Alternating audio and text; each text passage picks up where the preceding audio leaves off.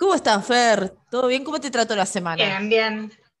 Bien, eh, acá estamos, estamos más templaditos, ¿viste? Ahora es como más. que se vive mejor. Vamos, vamos. sí, sí, ya parece que lo peor ya pasó con el frío. Así que ahora está, está nublado, viste esta cosa de que llueve, que no, eso no me gusta. Pero de todas maneras está bueno que no haga ese frío que hizo las semanas anteriores, que eran tremenda. No, no, no, ya está. La verdad que sí. Sí, sí, sí. Así que, pero bueno, es invierno, así que feliz día de la independencia. Estamos, viste que te dicen feliz día de la independencia, como, no sé. Sí, sí, sí, como feliz cumpleaños, qué sé yo. Pero bueno, yo digo gracias, qué sé yo, otra cosa. Pero, ¿para qué? Veo si corro, ahí está, que se me ve la cara iluminada. Ahí está. Bueno, Iluminada y eterna. Y eterna, exacto. Le voy a cambiar el color, a ver si. Ahí estoy hecho una calavera. bajo y se cagada. Parezco una señora. Ahí está, bueno, ya fue. Eh, no se pierden de nada igual, si no me ven. Eh, Ver, ¿qué, novedades hay que podemos llegar a escuchar este, a escuchar, a ver más que nada este fin de semana? No, se puede ver y escuchar, ¿eh? tranquilamente. Ah, buenísimo. buena, buena noticia. Bueno, la, primera película de la que voy a hablar se llama Dancing Queens. Dancing Queens, como la canción de Ava. al final. Claro, mm. eh, yo justamente entré, con, por supuesto, por, por ese tema, dije, oh, otra mamá mía. Claro. Pero las canciones de Ava eran no, musical. ¿No? Ah, pero no, fue un engaño. ¿Sabes ah. qué es lo peor de todo? Y eso es lo que estoy más indignada. ¿Qué pasó? Que es una película sueca. Y se llama Dancing Queens, pero no tiene temas de Ava. Ah, no, choreo. No, no. Me, me parece como una falta de respeto es como que, claro, como que nosotros pongamos el día que me quieras a una, una película y que no tenga nada que ver con tango, que, o que no tenga ni siquiera canción, la canción que, que claro. No. Bueno, pero, eh, o sea, más allá de, la indignación que tengo por la que estoy recolectando firmas para elevar la indignación. Vamos, ¿a dónde hay que firmar? Asumo igual, asumo igual que deben haber tenido algún problema con los derechos pero bueno, eh, uno entra, viste, como con, ganas justamente por el título. Y, sí. La película sueca, se llama Dancing Queens. Meteme una. No te digo un mamá mía, pero tenés que meterle un ava. Claro, una, mención pobre. Me voy a indignar más porque la, película en sí tranquilamente podría haber tenido eh, temas de Ava, porque habla de una chica que es bailarina. O sea que peor no puedo Creer. Yo no puedo creer, no, no, no, no, no, ¿en serio? La, película en sí eh, está buena, eh, es una, una peli que va entre lo dramático, lo tierno y quizás algunos deslices de humor. Eh, habla sobre Dylan, Dylan le pusieron justamente Dylan porque su padre es muy fanático de Bob Dylan. Y hace más o menos un año y medio ella perdió a su mamá. Su mamá era una excelente bailarina de la isla donde vive ella. Sí. Y le dejó el, legado. Y ese legado eh, era la, la escuela de, danza donde enseñaba a su madre. Y allí tiene un grupito de, alumnos, que la mayoría son eh, niños. Em, y les enseña a bailar disco. Poner una... Yo no puedo creer. Es, es ¿Qué? yo no entiendo. El enemigo la hizo. Encima eso. Exactamente. Yo no puedo creer. Pero pará, porque ahí no viene lo peor. Porque, como la abuela de ella, que, por supuesto es la mamá de, la señora que murió, eh, quiere que, ella se despeje un poco de todo lo que sucedió y demás. Entonces le dice que en la ciudad están haciendo un casting para un musical y que estaría bueno que vaya porque es una compañía internacional y demás. Sí. Bueno, cuando Dylan llega a la ciudad, este casting ya había pasado hace un mes.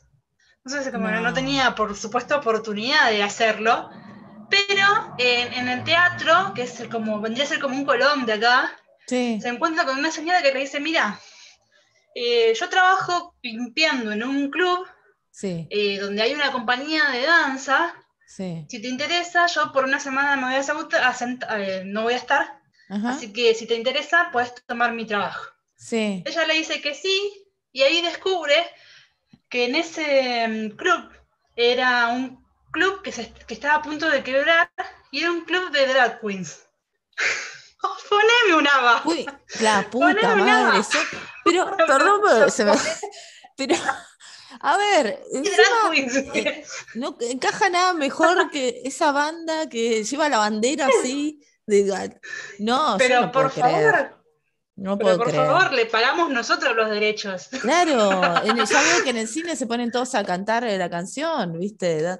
No, no, puedo, Bueno, hubiera estado bueno, pero la verdad es que eh, todo lo que se desarrolla después, la relación, porque primero ella, eh, como piensa que no la. O sea, ella, su sueño es bailar. Sí. Y piensa que no la van a aceptar porque justamente es mujer y ellos son todos hombres que, obviamente, el, tema del drag son hombres que se montan para ser mujeres diosas y, y tener eh, toda esa, ese aura de, de cómo es de, justamente de drag queen, sí. de diva. De vedette, claro, una em, cosa así. Claro, de vedette.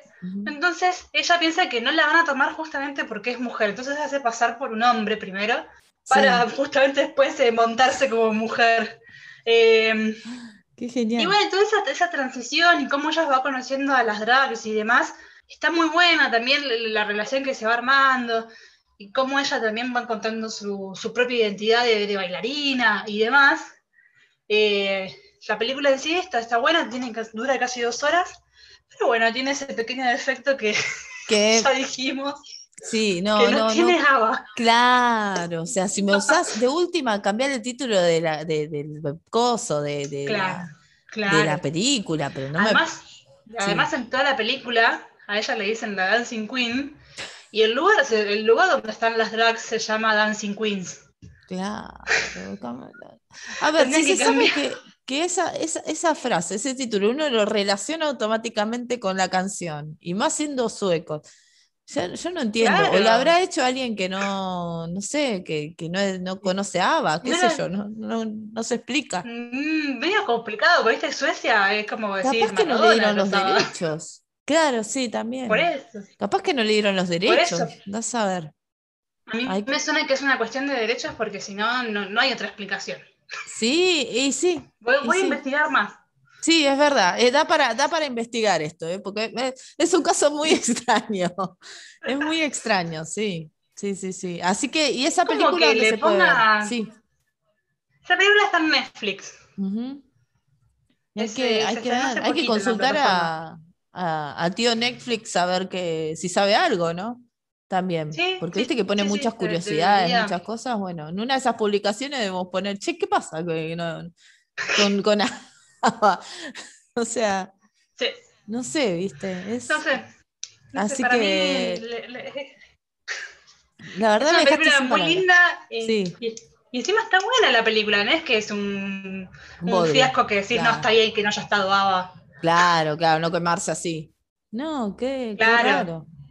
Para mí que es un tema de derechos ahí, de derechos de autor. Sí, tal cual, tal cual. Que había que poner una moneda. Así que.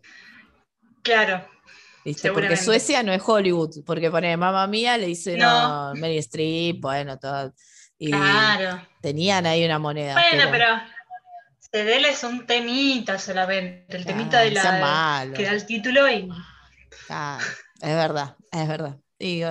vamos a ver, hay, hay que hacer una regalías que iban a tener, así que tampoco era tan grave. Claro, iban a, le, le, iba a dar más prensa, iban a volver a sacar la canción de nuevo. ahí la, nueva las nuevas generaciones lo conocen, ¿no? Hay un montón de beneficios. Pero bueno. Hay que, hay que llamarlos. Es verdad. Ah, che, Ava, que no sabía el nombre ni. Ava se llamaban. Ava, ¿alguno de los cuatro? Juan Carlos Ava.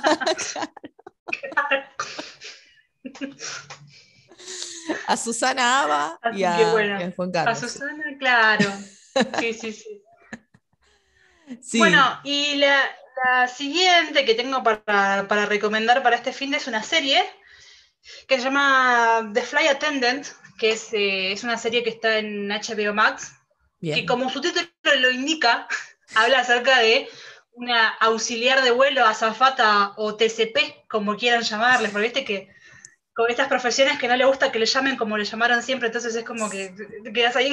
Es verdad. Ah, ah, porque la remite solamente a que la mujer hace eh, ese rol, cuando en realidad también están los, los hombres, por eso se empezó a llamar auxiliar de vuelo, comisario de a bordo y otras.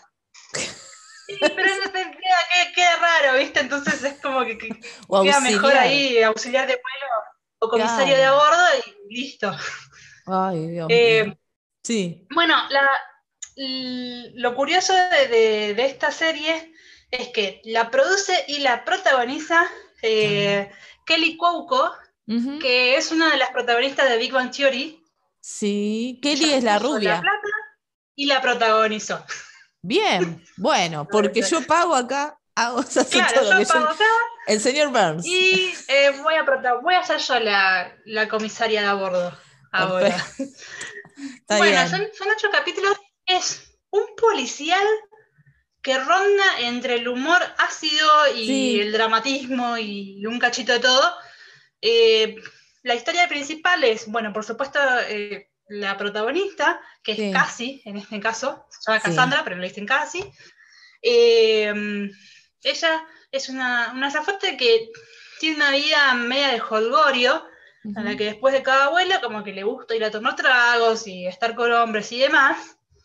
Y una en uno de los viajes que ella hace, conoce a un multimillonario que estaba en la primera clase y se, encuentran después en Bangkok, que era el, destino final de, ese viaje. Eh, bueno, él, eh, pasan la noche y demás, se conocen, y cuando ella se despierta el otro día, el tipo está degollado. Entonces, claro, entonces ella no sabe qué hacer, porque obviamente no se acuerda de nada y tampoco lo mató ella. Entonces es como todo un. Claro, ¿cómo lo un lío que se va desatando ahí. Claro. ¿Cómo lo demuestra, digo? ¿Cómo, claro, pero además de eso, ella hace todo lo posible justamente para, para que la culpabilicen a ella, porque se banda una tras otra, se saca todos los números para que la culpabilicen a ella. No. Eh, porque limpia la escena del crimen, como que se escapa también del, lugar, hace un montón de cosas que hacen pensar que es ella justamente la que la asesina, pero no es ella. Eh, así que durante toda la serie ella va a estar recordando, o tratando de recordar, mejor dicho, qué es lo que sucedió esa noche y quiénes estaban, además de ellos dos. Claro. Entonces, tenemos una lucha entre, entre su mente, el FBI, abogados, la familia del señor empresario, sí y un montón de, cosas más, de elementos que se van cruzando. Y una cosa muy buena que quizás por ahí decae con el correr de los capítulos, pero bueno, es un recurso que, está bueno, está bien utilizado, que es que ella cuando intenta recordar algo de lo que sucedió esa noche o de los elementos que se va encontrando en el camino, eh, es como que se, se va a esa noche en, en Van Gogh a preguntarle a él qué es lo que sucedió. Entonces es como que todo el tiempo ella se encuentra con él en su pensamiento eh, y como que eso ayuda a construir ciertas cosas que van pasando eh, y que van a pasar más adelante. Y también habla mucho de lo que ella sufrió en el pasado con, con un padre alcohólico y demás que la obligó a hacer ciertas cosas, entonces es como que todo eso se va entremezclando y también eh, la vemos a, casi teniendo por ahí ataques de ansiedad y, demás. Así que va, se conduce por ahí, digamos, la serie entre todo lo que es también eh, la parte más de, salud mental, si queremos. Claro. Así que se, se un montón en eso. Claro. Y la verdad está bastante buena. Toda esa, esa cosa del, que no es tan dramática, sino que, obviamente, toda la situación lo es, sí. pero tiene esa cuotita de humor que como que te permite, viste, también un poquito salirte de, del, clima tan sombrío que por ahí tienen otras series. Claro, claro. Y lo que tiene también de detalle es que el inicio, o sea, la presentación, el opening, opening em, es una especie de homenaje a eh, Atrápame si puedes. Ah, mira. La película de Leo DiCaprio con Tom Hanks. Sí, sí, sí. Que también Los Simpsons había hecho un gag con eso. Sí, sí, sí, eh, Así que tiene por ahí, tiene unas cosas medias de Hitchcock también, como que también como que se tomó algunas libertades por ahí. Así que está buena, son ocho capítulos, duran una hora cada uno, así que se, ve se ven en un fin de semana, ponele. Sí, sí, sí, sí, tal cual. Y más un fin de semana largo. Como ahora, ahora nosotros tenemos fin de largo en este, acá. Eh, tenemos viernes o domingo. Eh, eh, viernes, exacto. Entonces esta la pueden ver en HBO Max. Sí. Y acuérdense que los subtítulos están, como dice un contacto mío en Twitter, haciendo parkour.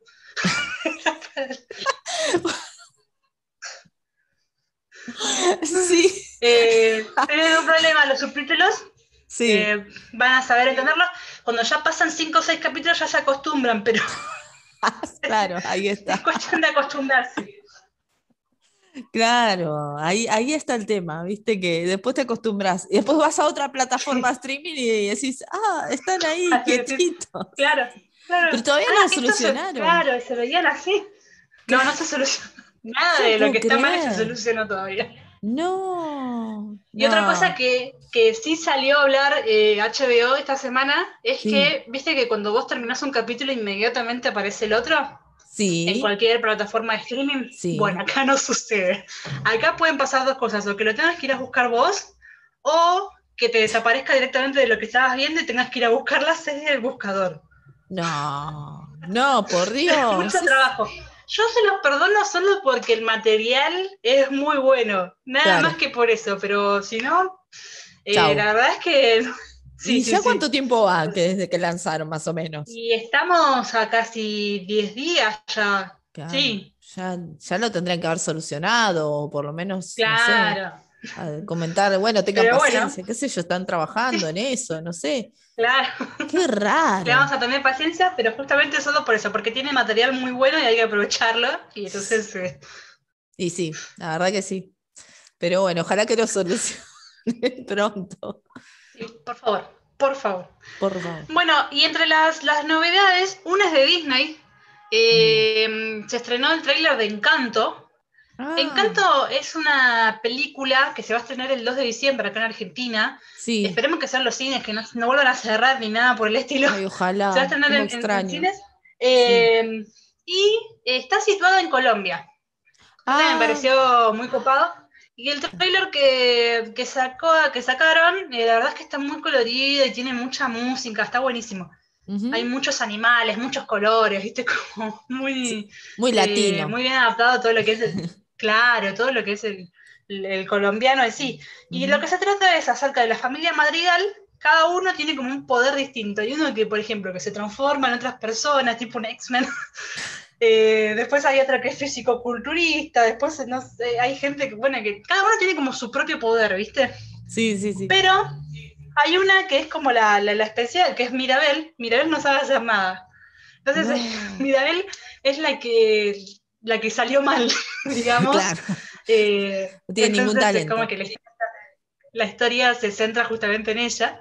Mm. Eh, me hizo acordar mucho a Hotel Pensilvania, porque son todos monstruos en Hotel Pensilvania, menos la hija de Drácula, que es una humana normal. Claro, me acuerdo. Drácula la ve y dice, aunque seas muy fea, porque sos humana. Me acuerdo, sí. Eh, me hizo acordar mucho, mucho a eso, pero, bueno. Así que el 2 de diciembre, eh, todo, si todo sale bien, se estrenará en cines. Ay, ojalá. Y por el otro lado, sí. el, 13 de agosto en Netflix, es una producción de Netflix, eh, se va a estrenar El Reino. El Reino es una producción, la historia oficial, digamos, del libro, es de Claudia Piñeiro. Y junto a Marcelo Piñeiro, que es una con Y y el otro es con, con I común. Con porque Claudia le, le, gusta diferenciarlo porque si no parece que son hermanos. Sí, es verdad. Así que le vamos a respetar. Eh, bueno, él la dirige, ella también hizo parte del guion, además de, por supuesto hacer el libro. Sí. Eh, es la historia de Emilia Vázquez Pena, que es un pastor que, que es candidato a vicepresidente de la nación, y de repente en un hecho que todavía no, no, ha sido revelado, matan al candidato a presidente, que es su compañero de fórmula. Uh. Y bueno, entonces tienen que obviamente investigar qué, qué, es lo que sucedió, pero a la vez esta es una oportunidad para que Emilio, por supuesto, sea presidente. Entonces ahí vamos a ver todo el entramado político, son ocho capítulos, eh, y el elenco, pero tiraron la casa por la ventana porque para empezar, Emilio Vázquez Pena, que es justamente eh, este candidato a vicepresidente que después se pasa a presidente, es eh, Diego Peretti. Así que ahí ya empezamos con, el buen elenco. Después está eh, Chino Darín, está Peter Lanzani, está mm, Joaquín Furriel, Nancy Duplá. O sea, hay un montón de, de actores argentinos que la verdad es que vale la pena verlos. Sí, Así que hay que esperar hasta el 13 de agosto. Todavía no falta tanto, pero bueno, estamos ahí, ya salió el primer póster. Habrá que esperar que salga el trailer a ver qué onda. Pero estimo que todo lo que hace igual Claudio Piñeiro siempre es impecable, así que vamos a, vamos a esperar a ver Cómo, cómo se ha adaptado este, este libro. Sí, seguro que no nos va a defraudar, seguro, seguro que, que vamos a estar sí, sí, sí. Eh, ahí con, todo, y aparte con lo que mencionás, los elencos, de, el elenco, quiero decir, está, está bastante bueno, está muy bueno, así que bueno, ojalá que, que la podamos disfrutar. Ahora, bueno, como decís, ya, ya el 13 de agosto, así que eh, ahora ya viene Ocupas también, ¿no? En Netflix, el 20. Sí, el 20 de julio. El 20 de julio.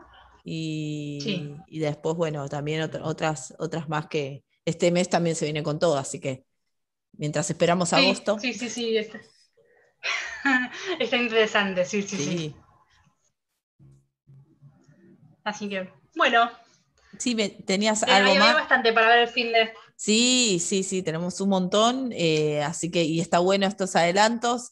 Eh, ahora vamos a esperar a ver, y vamos a ver qué pasó después, ¿no? El viernes que viene, a ver qué pasa con esto de ABA, porque eh, y si los de HBO acomodan los subtítulos. Si no, lo, que, lo que pueden hacer es poner un disco de ABBA mientras se reproduce la película. También, sí, es verdad. Ahí está. Lo tendrían que poner como aviso, ¿viste? Como recomendación abajo cada vez que empiece. Le pedimos disculpas, pero. No nos dieron los derechos. No hay tema de ABBA. Claro, porque te, te, queda así como una sensación rara. de los, de los sabatins, los sabatins capaz que sale más barato.